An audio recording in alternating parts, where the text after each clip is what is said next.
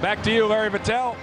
All right, thanks a lot, Bill Cost, because uh, Lee Humphrey, uh, most threes he's ever tried in a game, one shy of his career high. He made six three-pointers once before, only five tonight, but the play of the game is brought